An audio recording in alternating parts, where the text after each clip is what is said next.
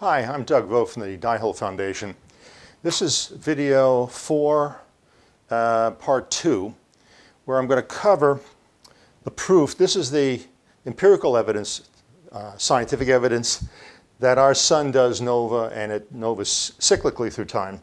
The evidence shows up on the moon, the sedimentary evidence on the earth, a little bit of it. There's going to be a separate video, it'll be part four, that'll cover all the sedimentary evidence on the earth.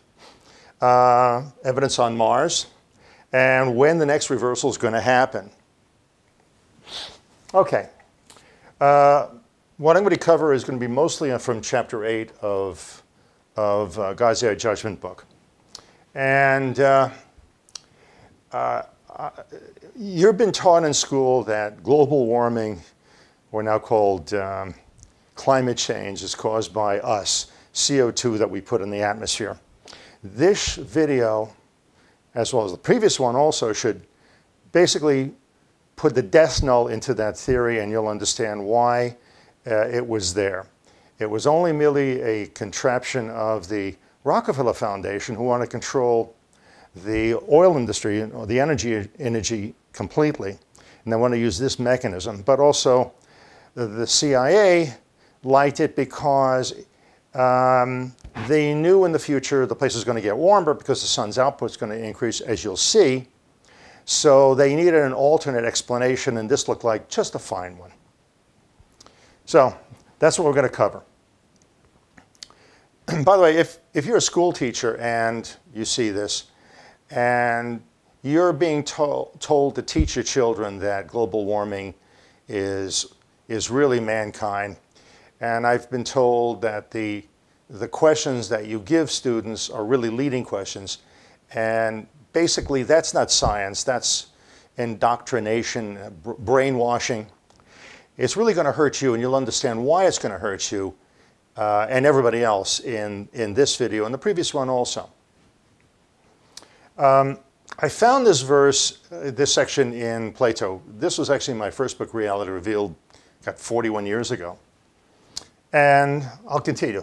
There are two cycles of the world, and in one of them it is governed by an immediate province and receives life and immortality, and in the other it lets it go and has a reverse action during infinite ages. Reverse action, there, he's trying to say the Earth changes rotation, and he did in one of his other books. Uh, anyway, this new action is spontaneous and is due to exquisite perfection of balance to the vast size of the universe and to the smallness of the pivot upon which it turns. That's the polar reversal I told you. It happens in one day. Uh, all changes in the heaven affect the animal world and is being the greatest of them is most destructive to man and animals. At the beginning of the cycle before our very, very few of them had survived, and on these a mighty change passed our ancestors, uh, thousands of years ago, knew about this event. They didn't know technically and scientifically how, what was really going on or how to explain it, but they did the best they could. By the way, that philosophy was Jewish philosophy. In video one, part one of this, uh, I had shown you how the CIA controls or grossly influences the academic community. Uh, William Casey was the CIA director at the time of Reagan. George Bush, he just died a couple of days ago, and this is a quote from him. Uh, he was uh, head of the CIA for about one year, from January 76 to 77. That was during the Ford administration. Said Sarah, this is talking about Sarah McClendon, she was uh, White House reporter for many years. Uh, Sarah, if the American people ever find out what we have done, they would chase us down the street and lynch us. Well, this isn't really in reference to um, Iran Gate and um, selling arms to the Iranians. It's not that at all. Because you may get arrested for that, but why are the American people going to lynch you? The reason is, is he's thinking what they're really doing, which is basically to keep people from knowing the truth about the sun and what happens during the reversal. Here's some journal articles. Uh, I mentioned in the first video that scientists, some scientists know this event. This is uh, a little inkling of which ones know and how they, they say it. This was from uh, R.H. Dicke from Nature magazine, 1978. No support is found for the conventional view of the sunspot cycle. Conventional view, he's talking about nuclear physics theory of what powers the sun you know, hydrogen, big hydrogen bomb going off, come helium, gives off light and energy. No, it's not that. They know that. there exists a large random walk in the phase of the cycle. Instead of both sunspots and the DNHs, the solar and terrestrial weather indicators seem to be paced by an accurate clock inside the sun, the clock cycle, which they never figured out. That's the 11.09 sunspot cycle and the 88.73 year Gleissberg cycle. They can't explain this, like I mentioned earlier. The standard physics model calls for the sun producing at least 5.8 neutrinos per day. That was the original estimate of how many it was going to create, and I had a big 100,000 gallons of carbon tetrachloride, you know, cleaning fluid, to, they thought a neutrino would hit one of those atoms in there, chlorine, and become something else radioactive, and you could measure it. They didn't find any. Um, John Bahcall concluded, the conflict between the observed and the standard theory has led many to spec speculations about the solar interior that were advanced because their proponents believe that the subject is in a state of crisis. That's nuclear physics in a state of crisis. Just like they couldn't explain mass, that had come up with the, the Higgs field that's a resurrection of the ether theory, by the way. Okay, now back to what's going on. this is the Kuiper belt. When our sun novas, it blasts out dust, and they found the dust and the particles, the K-U-I-P-E-R belt, Kuiper belt, Cooper belt, and they found it past Neptune and Uranus, um, and that's, that's where they found it. Uh, this dust shell goes at about 1,550 miles per second, very fast. What I think is going to happen when this thing happens, when the nova does happen, this is the sunspot cycle 1957. Uh, was 300 and, 355 sunspots in one day. I think this section here, the equator is like across here of the sun. From here and here is going to blow out towards the planetary plane, us and all the other planets. The top and the bottom parts are going to blow top and bottom. And you'll see an example of other stars that do it. Here's some examples. Well, this is the Kuiper Belt and how they've measured it and spotted particles in this area. Uh, this is Uranus, Neptune, Saturn, J Jupiter, and there's the sun. We're someplace in the middle here, really kind of close. Uh, this is a super, uh, supernova of uh, G1.9, and it's estimated to be about 27,000 light years away. In other words, it blew at 24,000 light years, or 24,000 years ago. Most of the pictures I'm going to show you with the different colors are a composite of uh, X-ray radio telescopes and optical telescopes, and they give different colors to different um, uh, measurements, and then they superimpose and create an image. There's the star there. It didn't blow up and become a a, a black, uh, a black hole or anything like that. Here's some more examples. Uh, M57 or NGC 5720, the Ring Nebula. There's the star. There's the dust shell around it. Here's another one. Uh, this is about 4,000 light years away. So Tycho supernova, 13,000 light years. This thing blew, in other words, 12,000 years ago, and this is what you're looking at. This probably is accumulation of multiple novas. It's probably a very big star. Uh, Nova Abell 30 estimated about 5,500 light years away. Uh, again, it's a composite, a composite uh, photograph you're looking at of multiple uh, readings. Here's a close-up of it. Again, this is the dust shell it sends out. Here's another one that's uh, two to 4,000 light years away. It's NGC 7009. Uh, this is the planetary plane. And this is probably a radio noise. Uh, a radio telescope picked this up, and that's why it's kind of split. So this is a planetary plane, and it blew top and bottom also. This one's kind of interesting. This is supernova 1987A. Here's different pictures of it as it blew from 94 on to 2016.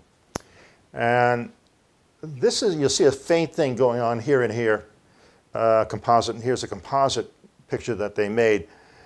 Uh, I stretched it out this way. This is its planetary plane where its planets would be. And the north and south poles blew out this way. This is the Ant, uh, Ant um, Nebula. Its planetary plane would be across here, and the north and south pole blew like that. Now, was, I've seen so many pictures of stars that have novaed. They call them planetary nebulas. I explained in the previous, they're not. It's a star that novaed. And uh, they all look a little different. They're like different personalities. Oh, uh, let me show you one thing that was kind of interesting. This one here, they estimate 168,000 light years away. That comes out to almost exactly 14 of these 12,068 cycles back. Almost dead on. Kind of interesting. Okay, these are some journal articles, and I actually have them. this one right here. Uh, are supernovas explosions driven by magnetic springs? This guy definitely knew the sun nova.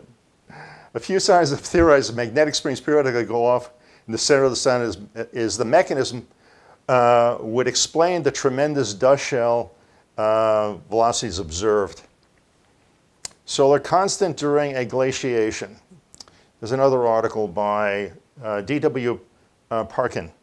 The regular cyclical appearance of the Ice Age proves that some kind of clock cycle is present in our universe. Others have concluded the same. This is the quote from him. From core evidence and climate seems cyclical, crudely sinusoidal, which perhaps systematically increases amplitude and period for the latter cycle. I su uh, suggest that some solar periodicity is the prime cause of the major climate cycles. He knows that the sun novas and the sun is the cause of it. By the way, there was an article, 78 or something like that, or, or so, or 79 by a scientist. He counted over a thousand journal articles that show the relationship between the sun and earth weather. Not CO2. Not, so keep, continue driving your trucks, your SUVs, and use your hibachi and your barbecue. Don't worry about it. You're not causing mommy nature any damage. This one you'll enjoy. Some, this was a paper. It's a book done, uh, paid by NATO, but mostly by us. It was 15 articles. The book's like $300. The University of Washington had it. And I found it and it was done 1987. And the reason why they, the, the military wanted to have this fund, the fund's about whether CO2 had any cause on global weather. They wanted to know the truth. So they paid at least 15 scientists. I Xeroxed maybe half of them because they were all good articles. And this is what was in there, and I'll, I'll read it to you. This is, the, this is the reference here. Uh, variations in solar luminosity are expected to give rise to variations in average sea surface temperatures, SST. By the way, that's one of the ways you, you measure solar output is by that reflection of the light off the couple of planets and, and a moon, um, um, solar wind, and sunspots and stuff like that. I'll continue. We conclude that a modulation of the sun's luminosity with a period of about 80 years, that's the Gleissberg cycle, and an amplitude of about 0.5% is consistent with global average direct sea surface temperature measured, but that the consistency of the results is weakened if, the, if calculated response to the increase in atmospheric CO2 included in the model. In other words, CO2 had no effect whatsoever. Here's his results from his this is, this is with no CO2 effect this line here is the sea surface temperature. You'll notice from the beginning of our last Gleissberg, the previous Gleissberg cycle was here, a steady increase. Then here, this is our, our big uh, Gleissberg cycle of, of 57, early 58. And it's gone up, very less like that. This is, see how much higher this is from this period here. Make all of you worried. This is really what's going on. This is the secret. This is where you, you, you calculate in the effect of CO2. There's almost no effect whatsoever. Okay. Like I said in the, the first part of the part one of the sun, the space program was created to find out if the sun nova. One of the first projects was to go on the moon. When they went on the, because it has no atmosphere, whatever landed there would still be there, not affected by water, wind, wind, rain, whatever. Okay, so this is what they found on the moon. Glass beads, usually point, 0.1 to about 1 millimeter uh, in diameter. Um, so I'll go through. This is what they, they found. Uh, when our sun novas, it, it, creates a lot of radioactive elements because of the cosmic rays, which are basically atomic bullets hitting other atoms and they create isotopes. So this is what they found on, in, these, uh, in these glass beads. Uh, aluminum 26, beryllium 10, oxygen 18 and 16, magnesium 26, iron 60, thorium 230, etc. There was more also. Scientists have de uh, detected an increase of 50% to 80% of radioactive elements 1,100 year plus years ago on Kodiak Island. Um, that's in the, the journals. Now, on, uh, the, on part four, I'm going to cover the sedimentary evidence, just what was found on the Earth. and, okay, F. Singer Science. Here's some of the references you can go to to go find it. And um, this is an anomaly in a deep sea mag, mag, um, manganese crust and implications for a nearby supernova source. You know, they found some of these radioactive elements on the skin of manganese nodules found the bottom of the ocean. Um, here's green glass, green beads. They found Apollo 15 samples. So, uh, okay, the expelled matter shell consists of glass beads, lumps of molten glass, dust and rocks thrown out at very high temperatures as a reference for it. When the sun novas, it throws off its outer dust shell and matter shell into space at an estimate speed of 1,515 miles per second. That's my estimate because I know what side of the Earth uh, uh, uh, the nova saw and 17 to 18 hours later where the dust shell hit. So I know it was about that speed. Uh, they came with a speed like 1,500 miles per second. The dust shell consists of small microtektites, glass beads, one to one millimeter to two millimeters with, with the sun's fingerprint inside. The fingerprint are fission tracks within the glass beads um, put there by the cosmic ray burst the sun gives off. NASA found that about 27% of the soil surface on the surface of the moon facing the Earth is made up of these glass beads. There's your reference for it. The reason why I'm giving you these references is there's over 400 references just in chapter 8 of God's Day Judgment book. Uh, because this means your life. This thing's going to happen in less than 28 years. And that's why you're going to have more hurricanes, tornadoes, more earthquakes and volcanoes I'll explain in, in uh, part four. But this means your life. And as the first part of this, this series showed, they lied to you about a lot of different things, didn't they? And, but they're scared. They didn't think, they didn't see another alternative to, to do this. Anyway, and they're wrong. Two basic shapes you have the round ones and you have the elongated beads, which I'm going to show you in, in a moment. They'll look like little dumbbells. All these microtektites were devoid of gas bubbles. In volcanic activity, you have gas bubbles. You're going to, you're to see it in, in a couple of slides later. The moon beads are colored clear, pale green, and yellow, red, orange, amber, dark brown, and black. Each color represents a slightly different chemical composition.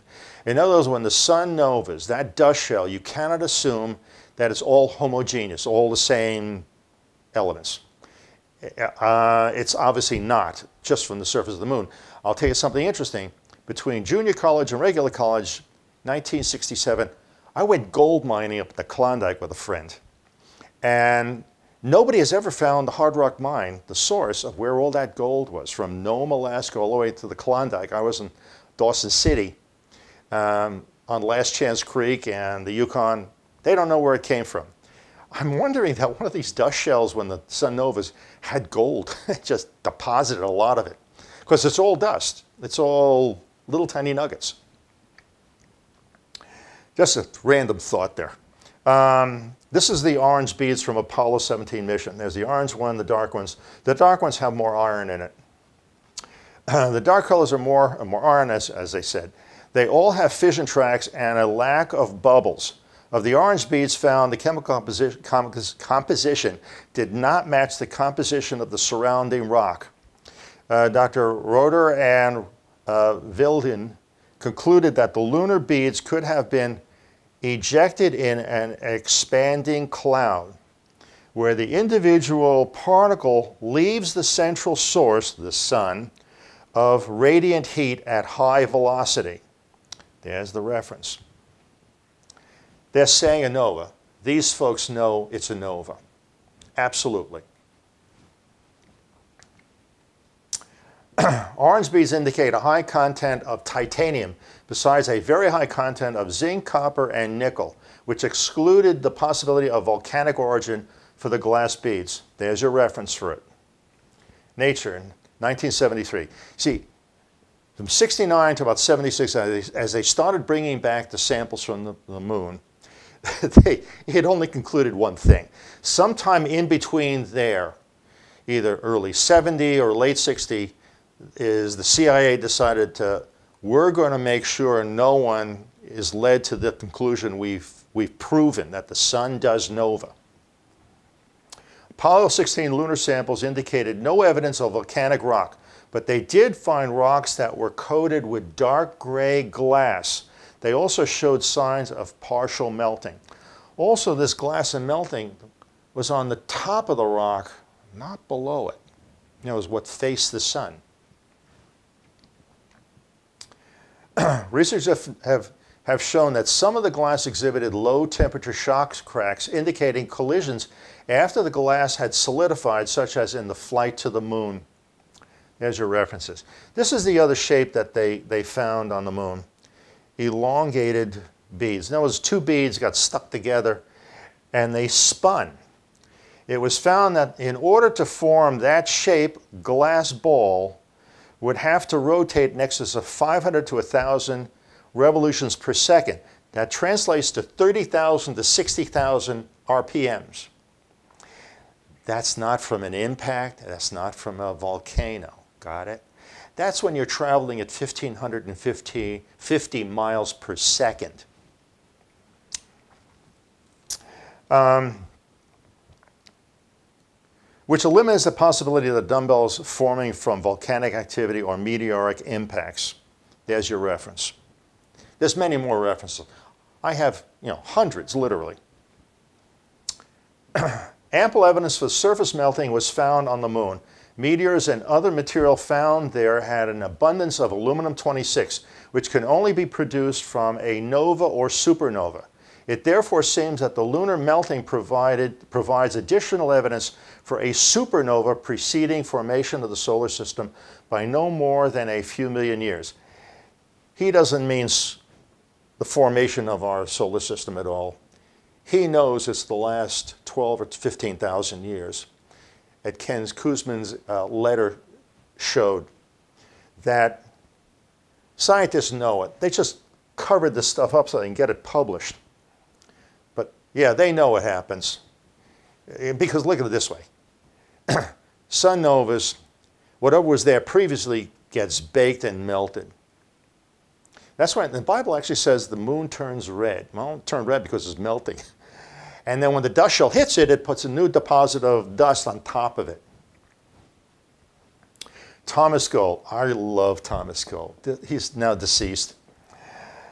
In 1969 uh, was the first to suggest that flash from the sun could explain all the observe, observations he saw of samples and pictures from the moon, including rocks with a glaze ma uh, mainly on top. He went as far as to write, the phenomena may not be in the nature of a flare, but in the nature of a very minor nova-like outburst of the sun.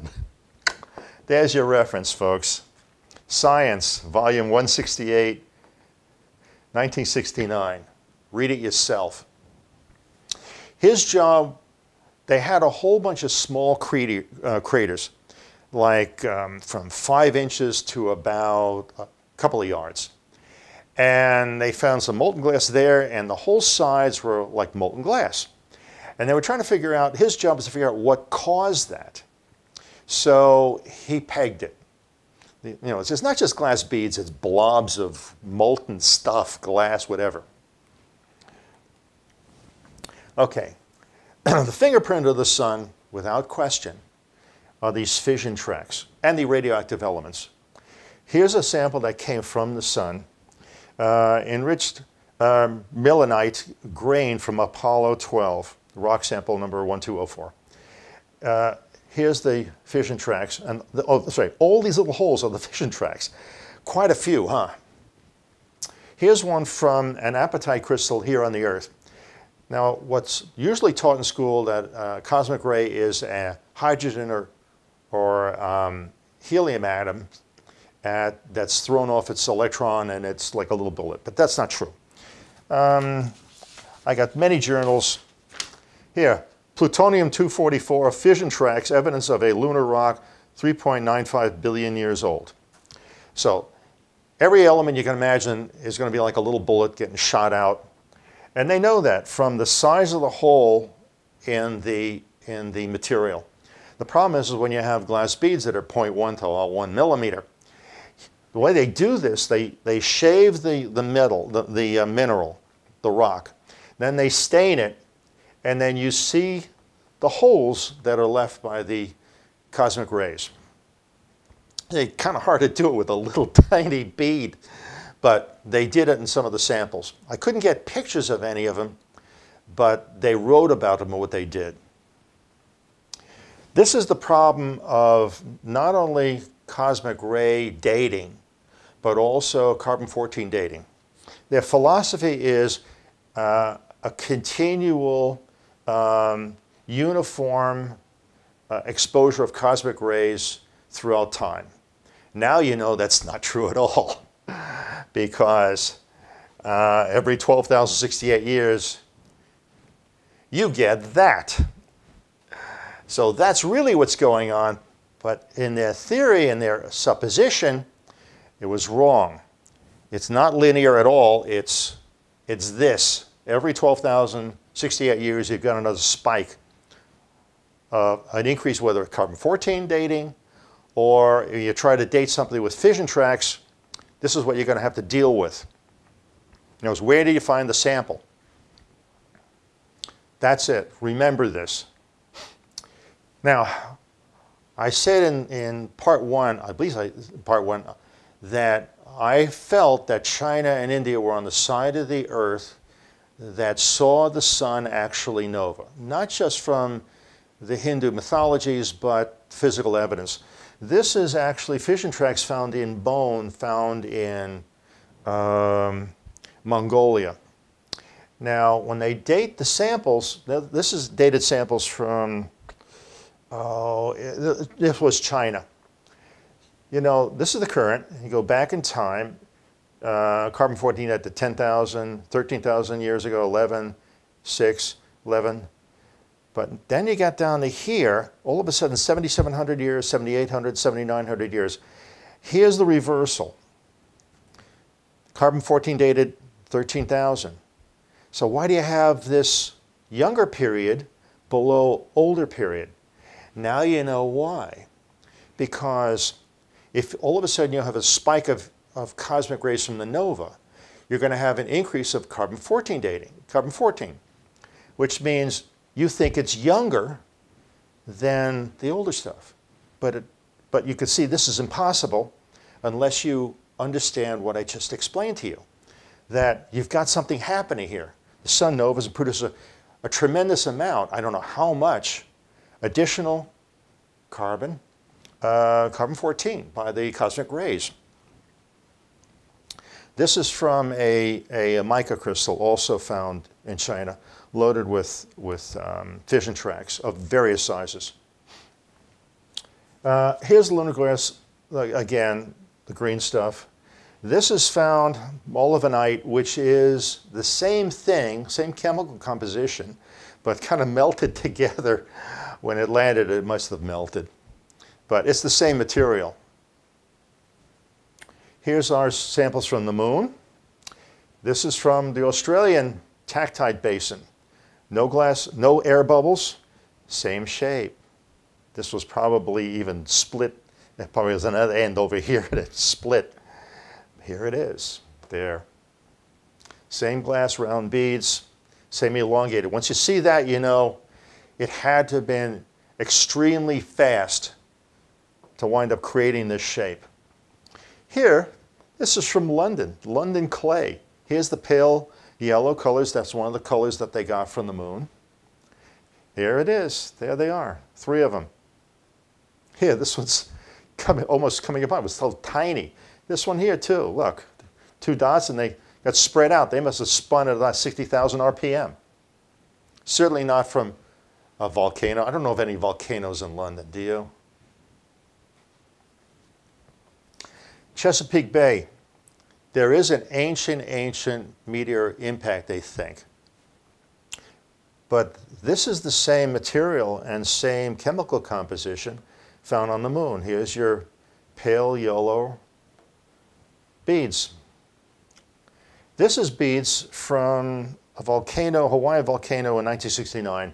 The black dots are the gas bubbles. That's what the signature of glass being created in a volcano. This is not. You see no glass beads here. This is from the sun. Okay, Mars. I'm hopefully not going to run too long. When they landed on Mars, um, they knew they had the same problem. It was no, nothing contradicted what they saw on the moon. Um, this is the size of the, Mars is the size of the moon, uh, Earth. I tried to do this in scale. Earth is a diameter of 7,900 miles. Um, Mars is 4,200 miles. So it's, it's much more. It's 53% of the size of the Earth. Now that may have an effect of how long they were able to keep an ocean, but I'll show you what they found. this is off the coast of uh, the Carolinas, and I showed this in the earlier video. This is deep sea canyons that go all the way down to the bottom of the Atlantic Ocean. Here's the same thing. I actually showed it in that other thing. It's the same thing. Here's their Martian continental shelf, and here's the, the water cutting grooves in, in the thing for the same, for the same exact purpose. On part three, I'm going to go through the evidence in the ocean. You'll see the gory details of that. Here's another example. There's that continental shelf. Here's as the water cuts down on the continental shelf that goes to the bottom of where the ocean used to be. Here's another Martian basin. An ocean was here. Here's the cuts here. Here's the, the mantle here. Another example, we assume this is their, their continental shelf of something, and here's evidence of water running down here and cutting these grooves. Here's a blow-up of another example. This is probably the continental shelf, and it cuts again deep, deep canyons in the side of the wall into the ocean. Here's the last one I'll show. Continental shelf, same thing, long, long, all the way down to the bottom. This is the evidence that there was an ocean here. Uh, this looks exactly like when I went to the, the Sinai, uh, where you had it, one time during the Cretaceous period, it was an ocean there. You have the limestone, Cretaceous limestone. You can see the striations in this thing. And you have a limestone, they have sand, limestone sand, same exact thing I saw in the Sinai. No difference. Especially you can see it more clearly here. See that? Same thing. Question you should all be asking, okay, where'd all the water go? That's the purpose of this whole thing. Now, here's the evidence of rivers. Here's a river. I'll talk about this later. Here's an obvious example of a river. Where'd all the water go? Once you see a river, you know it had an atmosphere, it had rain, and it had erosion. So it had everything the earth has, just smaller scale. Here's another example of a river. I'll talk about this later. Very good example of a river on Mars. More of the same.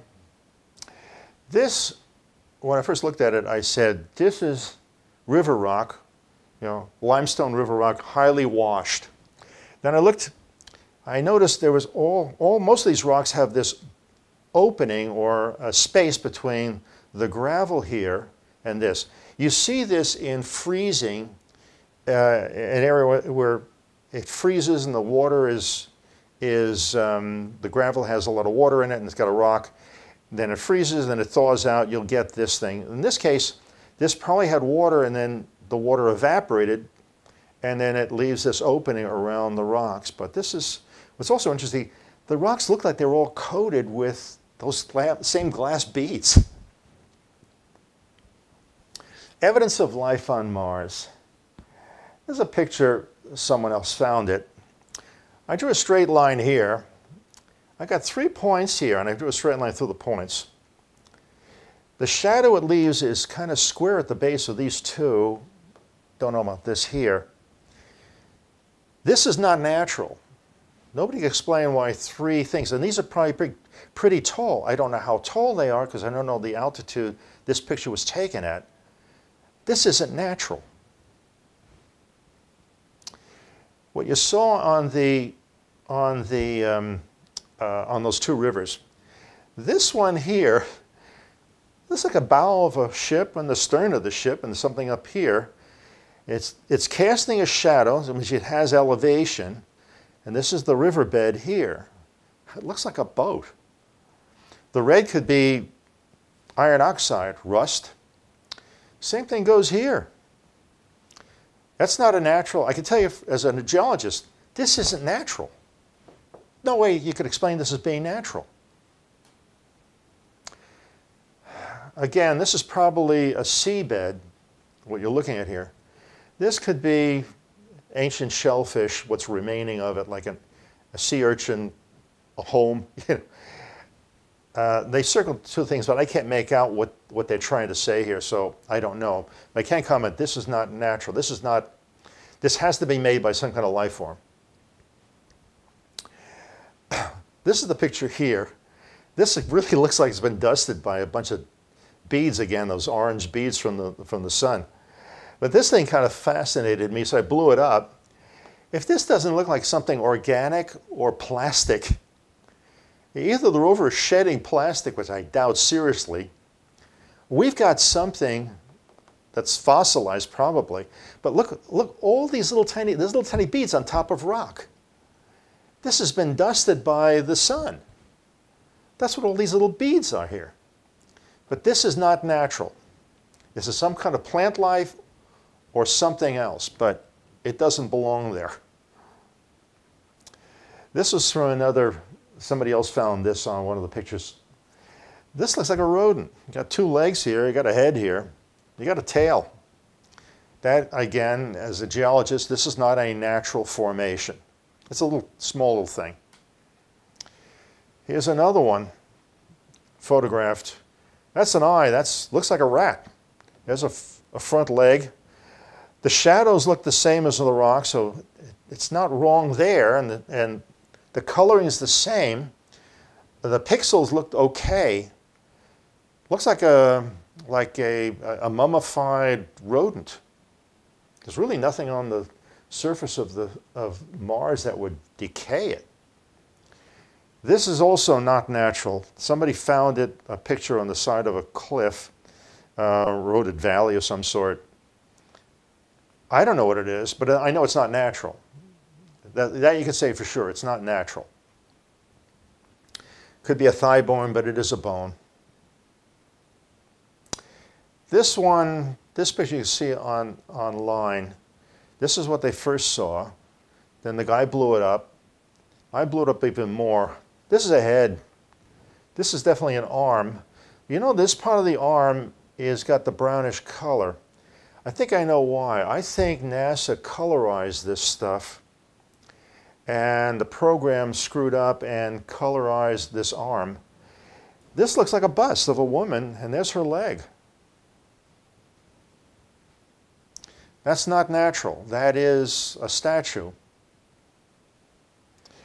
This one somebody called a town. They're probably right. It looks like this thing was flooded, covered with dust and mud, and then another process uncovered some of it. These square things are not natural. So I blew this one up in this area. This is it. This is not natural. This is made by some intelligence, probably is a town. It is, there's too many of them here.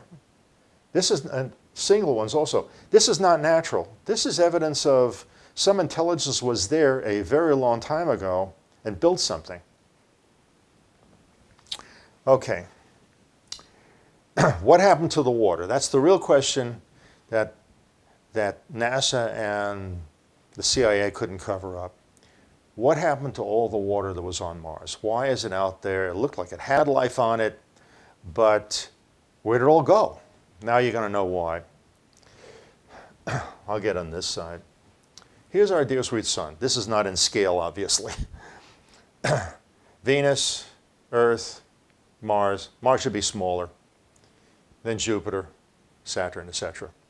When this thing novas and this dust shell hits each one of the planets, it, it evaporates whatever atmosphere is on it, at least a lot of it, it evaporates in water and stuff like that.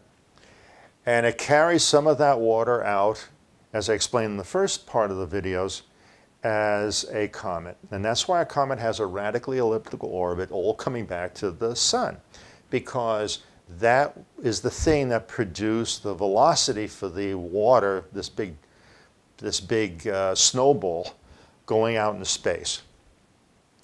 So what happened to dear sweet Mars is Mars at one time had the same orbit as the Earth and closer too.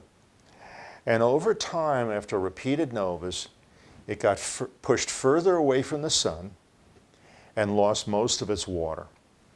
The same thing is going to happen to the Earth. We know 78 and 100 million years ago, we had more water. The Earth was covered with, I think, 80 or 90% water. Funny, the Bible says the same thing too. And and eventually we will lose, we'll be in this kind of an orbit, and we are going to have to immigrate to the next planet closer. And that's most likely what the people who are here went there, to Earth, because they had no choice. So, I'd say that Jupiter, Saturn, um, Uranus, and Neptune had the same issue. At one time, they were in this part here and most likely had life on it. This is a story of evolution, that you are forced to evolve upward. Not be dumb and stupid, not lie, but tell the truth so people can figure out what the danger is and what you have to do to save, your, save yourself from this event. The Torah, believe it or not, and I did mention it in video 7, which is on God's 11th code system, has the exact month, the day, and the year for the next reversal. The next Gleissberg cycle will be between, will be between September and December 2046. Um, it has a month and day there. The first time a month and day is mentioned by the Torah, it's the most important. Second month, 17th day, turns out to be October 16th. But where's the year? You don't care month and day. What year is it going to be? Well, he told us. You take from Adam to Abraham when they had their first kid, except this one is his, it's his third kid, and you add it up, and what number does it come up to? 2046. The distur disturbing factor for me is that this is the Christian calendar. You know, it doesn't matter what the Jews of the first and second century who were fighting the Pisos and the Romans did or not. They were going to lose anyway.